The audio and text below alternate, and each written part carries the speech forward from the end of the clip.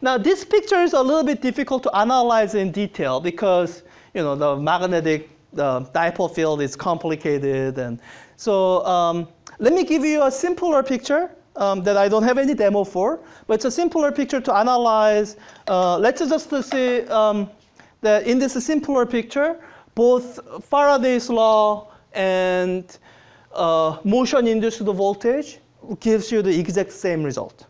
So this is the classic uh, picture involving this. So um, let me imagine a field um, or a space uh, that's a field with magnetic field. Sorry, too many fields. Um, let me draw it. So this is what I'm imagining. I have magnetic field. Uh, let's say it's coming out of the board.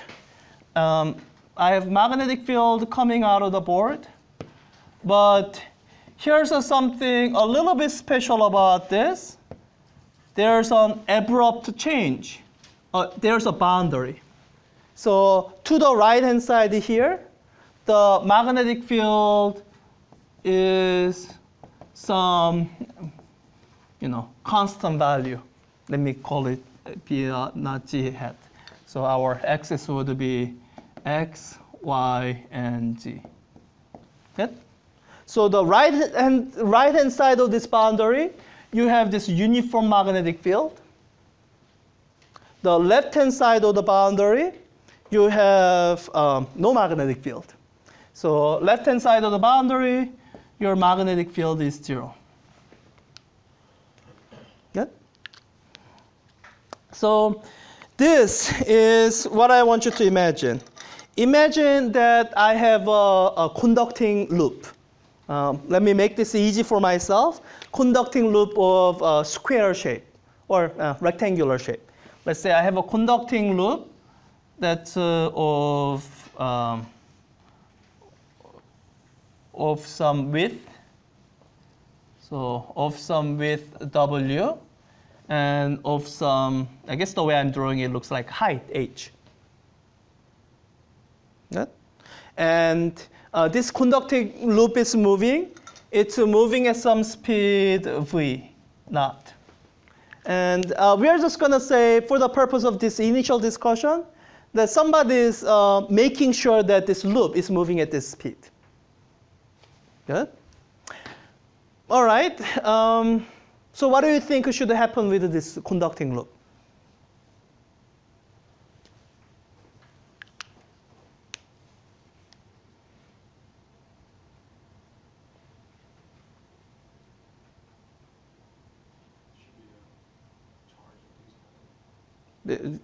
There's a there should be movement of charge induced in it. Yeah.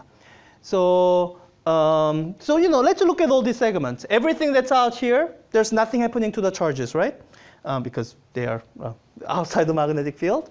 So the region that would be interesting to look at is this region. The region that's uh, inside the magnetic field here and here, and this region here. Call it regions one, two, three. In regions one and two, in what direction are the charges being pushed to? Let, us once again imagine those are positive charges. What direction are they being pushed? So in region one, um, V naught uh, cross B, so downward, right? So there's a force on the charges that's pushing it downward. Okay, that's not gonna do anything. I mean, it might, yeah, that's not really gonna do anything. Um, and in region two, it's the same thing. for, you know, cross B, um, downward. All right, so you know the charges might accumulate on one side of the wire, but beyond that, nothing will really happen. Uh, what about region three? It's still downward. So the difference here is that when you have downward uh, V cross B, then this will act like an electric field. Right? So what you have is if you imagine a path that's going along this conducting loop, then I have this amount of path length here, which will, at every point along this path, will be this value of V cross B, or uh, with this value of V naught times b because uh, times b naught because they are perpendicular, uniform, same value throughout, right? So um, so the effect of this is going to get added up over this entire length. So if you calculate this, you know, the line integral, if you want to call it, um, V naught B naught times dl. Um, this is the motional, uh, uh, motion-induced voltage. There's a voltage difference from here to here. Um, so I guess uh, this must be a Sorry, I keep forgetting which is lower and which, well, this is the direction that the charges are moving. The charges moving this way, it'll push the charges here, so there will be a loop current induced in this whole thing. So you could say, um, this is what you can end up saying, that we can compare to the other thing later, that when you look at, sorry, I'm trying to pick the right color, used too many. Um, when you look at this, uh, when you imagine going around this loop, as you go around this loop, there's a voltage difference of V naught, B naught times the line integral. That sounds like the H. So there's a voltage difference of V naught, B naught, H. So all I have to give you now is uh, what is the resistance of the wire. Then, you know, take the voltage, divide by the resistance, that'll give you the current. Okay? Yeah, everyone okay with that? So that's just using this concept of motion-induced voltage. Once again, no new laws, something that you already know. Now what I want to demonstrate is, do we get the same result using Faraday's law? Well, let's give it a try. So um, this would be how the this picture is will be changing. So before, um, this is the picture that I was trying to sketch that um, imagine this oscilloscope is the region with the magnetic field. Then what I was describing was this loop moving from right to uh, left to right, right? And now for, for the purpose of applying Faraday's law, what I want to say is well, maybe it doesn't move that way. Uh, maybe I'm in the reference frame of this loop, and it's this region that's moving. So so for this uh, change the picture, this is what you have to imagine. We have to imagine that, um, what color? Uh, let's use purple. Um, you have to imagine that, okay, the loop is not moving. The loop is stationary. Um, instead, this boundary is moving to left at speed v naught. Right? So if you are still sticking to Lorentz force law, that doesn't give you anything because there's nothing in this loop that's moving. The, the, the sort of the amount of region of space that's filled with the magnetic field is changing.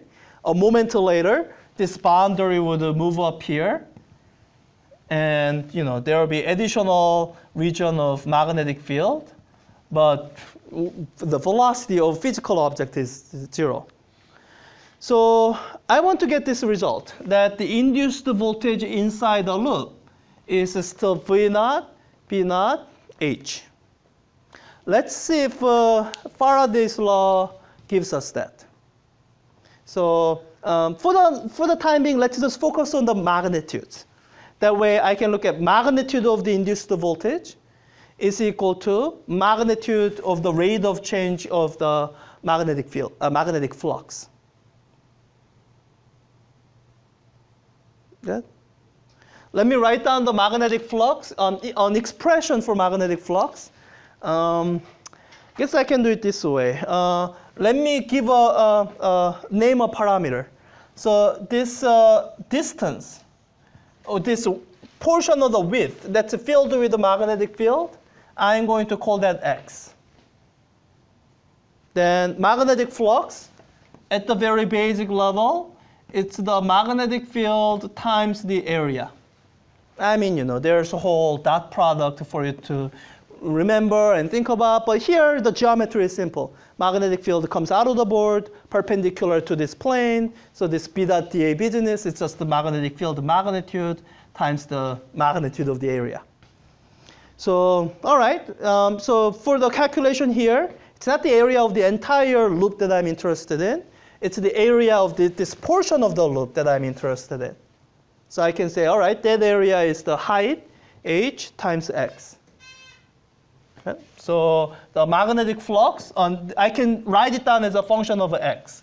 It'll be magnitude of the magnetic field, B naught, times this area here, h times x. All right? So what uh, Faraday's law tells us is that induced the voltage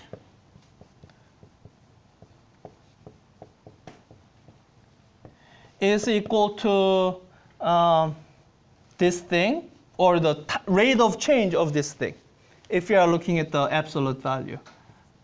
That's the rate of change of the magnetic flux. You know what? I have an analytical expression. I think I can try taking this derivative. Okay? So I'm going to try to take the time derivative of this entire expression here. B naught hx. Any of these parameters a function of time? B naught a function of time? No. H a function of time? No. What about x? Yeah, the region of space that's filling up, it's going to increase as a function of time. So, all right, let's write it out. It'll be B naught h times rate of change of x. Well, I think I have that. This is my um, dx dt, right? That's how fast this boundary is moving. So all of that, I get B naught times h times V naught. So this is the magnitude of induced voltage that Faraday's law gives you. Compared to this, oh, it's the same voltage. Same magnitude anyway.